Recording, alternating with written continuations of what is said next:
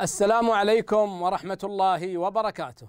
مرحبا بكم طلاب وطالبات الصف الأول الابتدائي. أهلا وسهلا بكم معنا في مادة لغتي. سأكون معكم في هذا الدرس أنا معلم المادة سالم الهزاع برفقة الأستاذ محمد الأكلبي في لغة الإشارة. فأهلا وسهلا بكم مرة أخرى. أحبابي الطلاب والطالبات في هذا الدرس سنقرأ ستقرؤون أنتم ستكتبون أيضا املاء منظورا وأيضا املاء اختباريا. ستقرؤون النص الذي قرأناه وإياكم في حرف الزاء وأيضا حرف الواء نقرأ هذا النص سويا كلمة كلمة. نبدأ الآن. شاهدوا معي هذه الصور. شاهدناها وإياكم من قبل. الآن هيا اقرأوا. أحسنتم أنا. أحسنتم زهير. زهير. في هذا الدرس في هذا النص ستخرج لنا كلمات ملونة ونشاهد فيها حرفنا حرف الزاء. قد يكون بالفتحة ز أو بالضمة زو كما في كلمة زهير أو بالكسرة زي هيا نقرأ ونشاهد ونركز أيضا. هيا اقرأوا هاتين الكلمتين. أحسنتم أنا زهير. أكملوا. ومدينتي. أحسنتم ومدينتي. اقرأوا. أحسنتم. مكة. مكة. أكملوا. أحسنتم. المكرمة. مكة المكرمة. أحسنتم. وبارك الله فيكم. هيا نكمل. اقرأوا. وهذا أحسنتم. أخي هيا نركز في هذه الكلمة الملونة. أحسنتم. زياد. زياد. اقرأوا هذه الكلمة مرة أخرى. الحرف الذي نطقناه في هذه الكلمة كلمة زياد. زي أحسنتم. مكسورا أي بحركة الكسرة. زياد. هيا نكمل. اقرأوا. الكلمة الأخيرة في السطر الأول. أحسنتم نذهب نذهب السطر الثاني اقرأوا. إلى. هيا أكملوا. المسجد. أحسنتم. المسجد. هيا اقرأوا. أحسنتم. الحرام. الحرام. إلى المسجد الحرام. اقرأوا لن أكملوا. أحسنتم لنصلي. لنصلي. اقرأوا. حاولوا. أحسنتم. ونطوف. ونطوف. هيا اقرأوا. أحسنتم. حول. حول. هيا اقرأوا الكلمة الأخيرة في السطر الثاني. الكعبة. أحسنتم. الكعبة. الكعبة. اقرأوا السطر الثالث. بداية السطر الثالث. نشاهد كما تعلمنا وإياكم نشاهد الكلمات التي نقرأها. أحسنتم. ونشرب. ونشرب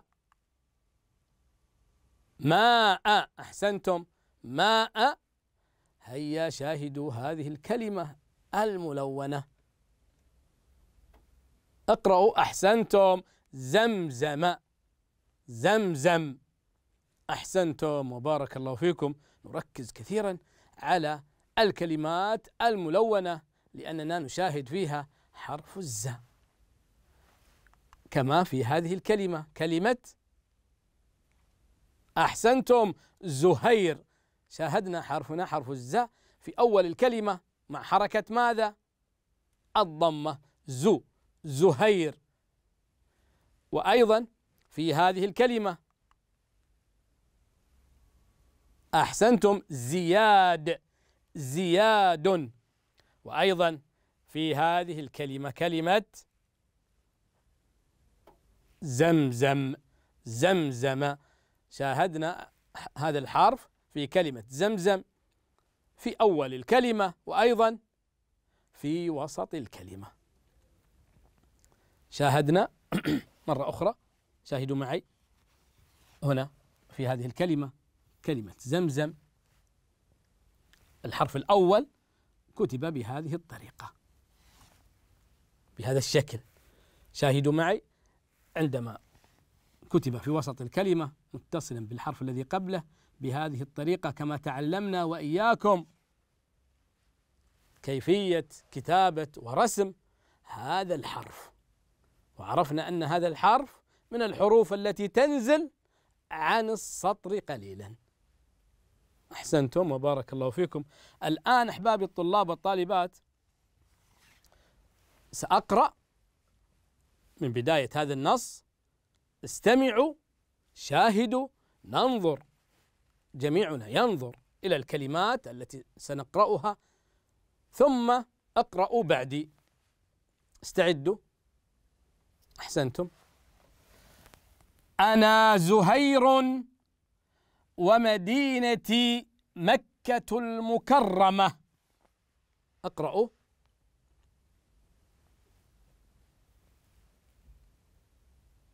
أحسنتم. وبارك الله فيكم. نكمل. وهذا أخي زياد.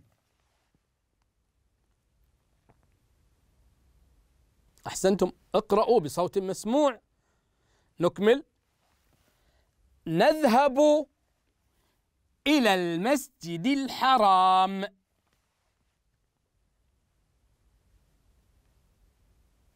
أحسنتم. لنصلي ونطوف حول الكعبة.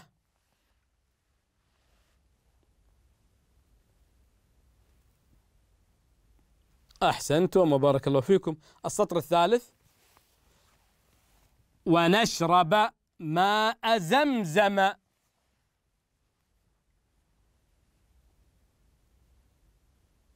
اقرأوا. أحسنتم. أحسنتم وبارك الله فيكم.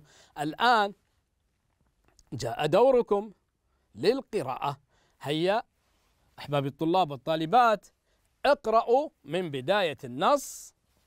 اقرأوا أنا أشير على الكلمات على الجمل وأنتم اقرأوا شاهدوا الكلمات. وهيا اقرأوا بصوت مسموع. هيا اقرأوا.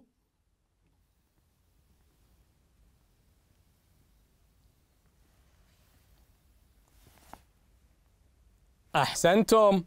هيا أكملوا.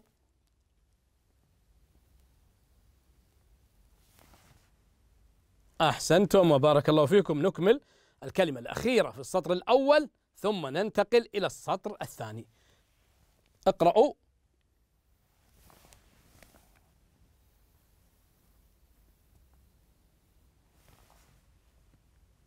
أحسنتم. هيا اقرأوا لنصلي. أكملوا.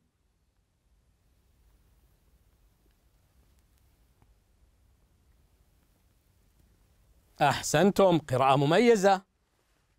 تبقى لدينا السطر الثالث. هيا اقرأوا.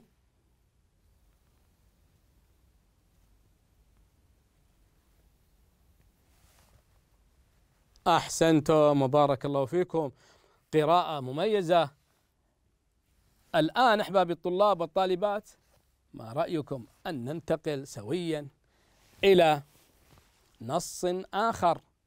وهو النص الخاص بحرف الواو بحرف الواو. تذكروا معي. صديقنا وصديقتنا. نتعرف عليهما الآن أيضا مرة أخرى. هيا اقرأوا. أحسنتم. أنا. هيا اقرأوا. أحسنتم. وليد. وليد أنا وليد. شاهد حرفنا حرف الواو في هذه الكلمة. و و بحركة الفتحة. و وليد أنا وليد. هيا اقرأوا. أحسنتم. ومدينتي. و ومدينتي. اقرأوا. أحسنتم. تبوك. أحسنتم. نكمل. وهذه وهذه.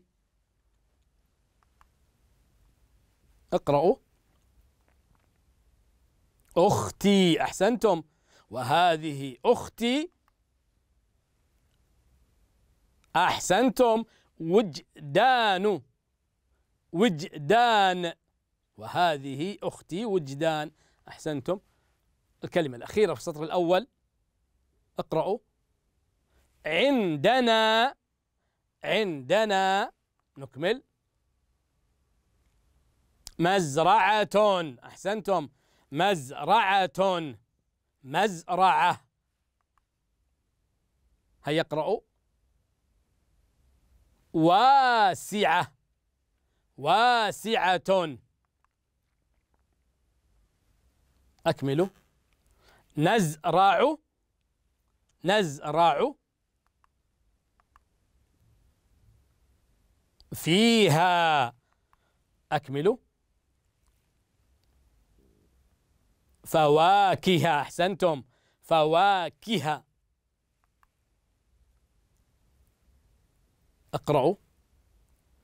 وخضروات. وخضروات. و أكملوا أحسنتم. وزهورا. وزهورا. مرة أخرى أحبابي الطلاب والطالبات نقرأ هذا النص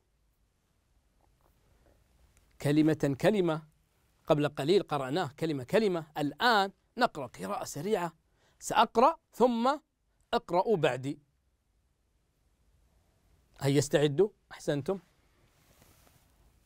أنا وليد ومدينتي تبوك. هيا اقرأوا أحسنتم. نقرأ بتركيز. أي نفهم نفهم ما نقرأ. هيا شاهدوا معي واستمعوا. ثم اقرأوا بعدي. وهذه أختي وجدان. اقرأوا. أحسنتم. عندنا مزرعة واسعة. اقرأوا. أحسنتم. نزرع فيها فواكه وخضروات.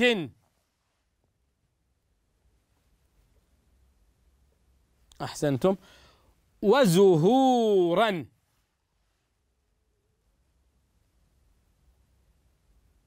أحسنتم. وبارك الله فيكم. مرة أخرى. لكن من الذي يقرأ؟ أنتم اقرأوا. سأشير على الكلمات. وأنتم اقرأوا بصوت مرتفع بصوت مسموع. هيا اقرأوا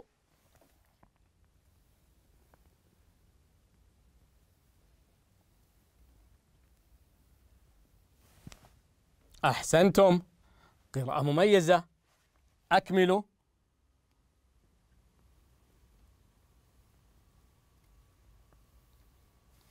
أحسنتم. وبارك الله فيكم. نكمل الكلمة الأو الكلمة الأخيرة في السطر الأول. ثم ننتقل إلى السطر الثاني. هيا اقرأوا. عندنا.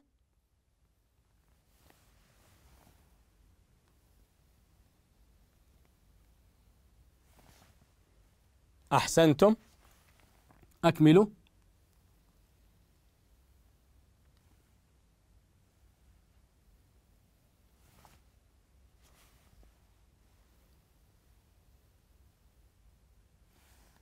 وخضروات. أحسنتم. أكملوا.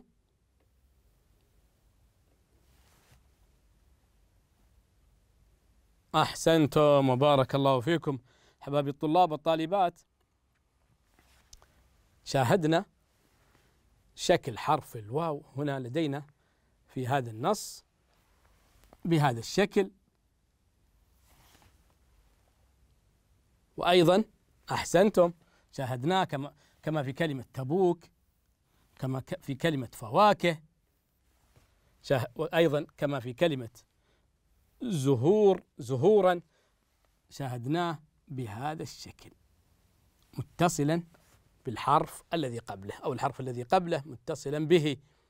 وأيضا في الدروس السابقة تعلمنا كيفية رسم هذا الحرف وأن هذا الحرف من الحروف التي تنزل عن السطر قليلا. أحسنتم وبارك الله فيكم. أشكركم على حسن القراءة القراءة المميزة. الآن أحبابي الطلاب والطالبات أريد منكم أن تحضروا قلم الرصاص المبري وأيضا الدفتر الخاص بمادة لغتي.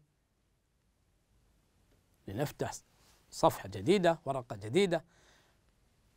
الآن إملاء منظور كما تعلمنا. ثم بعد ذلك جملة أخرى إملاء اختباريا.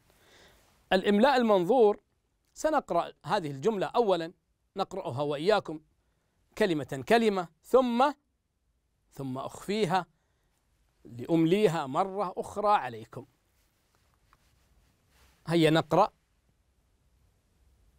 أحسنتم زار الكلمة الثانية مازن. مازن. ركزوا. مازن. زار مازن. أحسنتم مدينة. مدينة. الحرف الأخير ما هو؟ تاء مربوطة. أحسنتم مدينة أو مدينة. زار مازن مدينة جدة جدة. شاهدوا التاء المربوطة في كلمة مدينة وأيضا في كلمة جدة. اختلف شكلها في هاتين الكلمتين. شاهد جيدا. نقرأ مرة أخرى. زار مازن مدينة جدة. الآن ركزوا جيدا شاهدوا هذه الجملة اقرأوها شاهدوا الكلمة الأولى والكلمة الثانية. ركزوا في الحركات أحسنتم. مازن أيضا الكلمة الثالثة. وأيضا الكلمة الأخيرة. بعد قليل سأخفي هذه الجملة. ثم أطلب منكم كتابة هذه الجملة كلمة كلمة. استعدوا. هيا اقرأوا مرة أخرى. زار مازن مدينة جدة. هيا الآن مع بداية السطر الجديد هيا اكتبوا. زار. زار. أحسنتم. استمعوا. استمعوا جيدا اسمعوا مني نطق هذه الكلمة جيدا ثم اقرؤوا انطقوها أنتم ثم اكتبوها وأنتم تنطقون حروف هذه الكلمة زار أحسنتم. الكلمة الثانية مازن مازن مازن. الحرف الأخير أحسنتم. تنوين الضم. أي ضمتين. مازن. اكتبوا أكملوا. مازن. أحسنتم. زار مازن. مدينة. مدينة.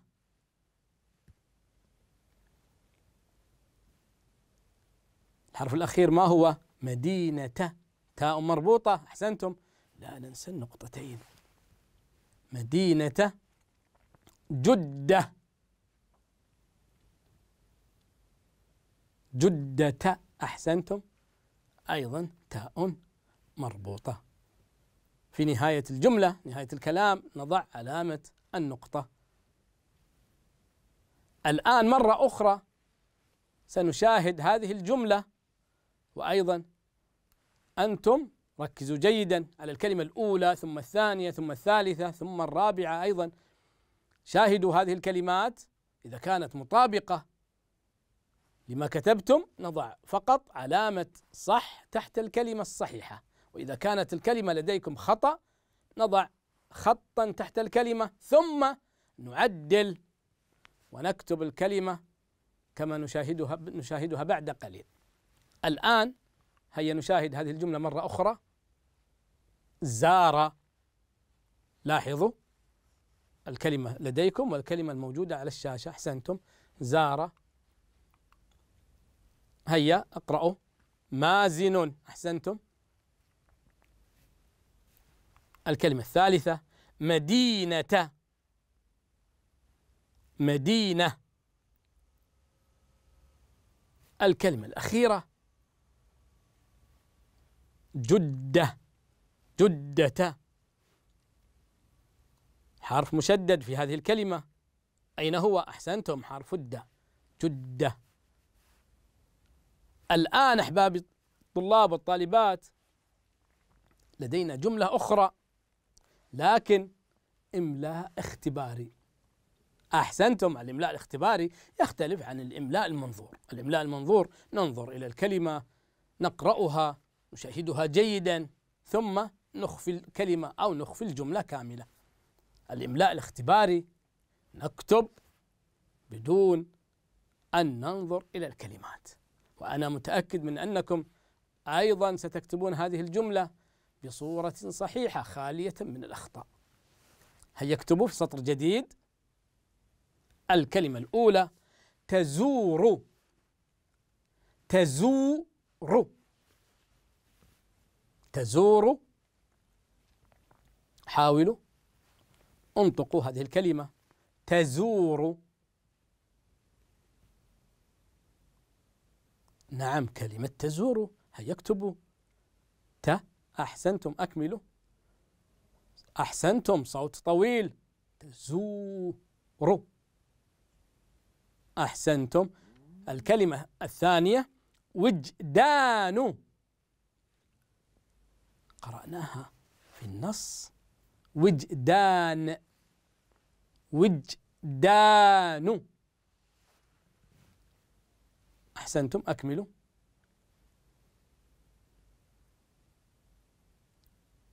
نجران الكلمة الثالثة. والأخيرة. نجران. نجران.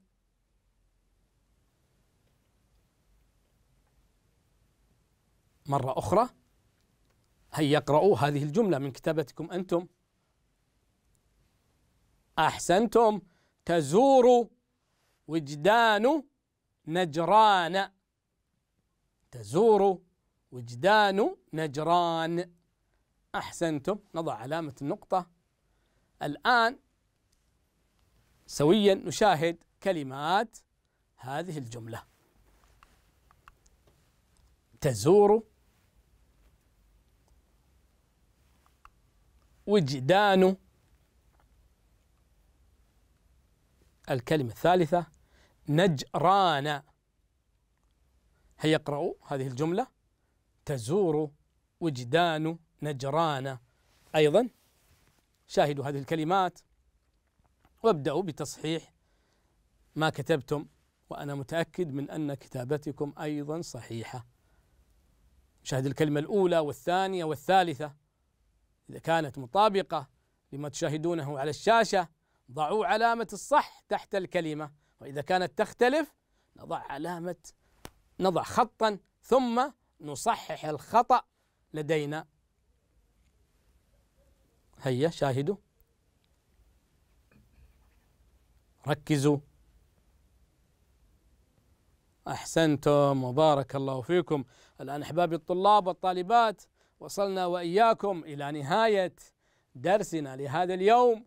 فأشكر لكم حسن استماعكم وإنصاتكم وأدبكم وقراءتكم المميزة وأيضا كتابتكم وخطوطكم الجميلة وكتابتكم الخالية من الأخطاء. في حفظ الله ورعايته نترككم ونستودعكم الله الذي لا تضيع ودائعه. وإلى اللقاء. والسلام عليكم ورحمة الله وبركاته.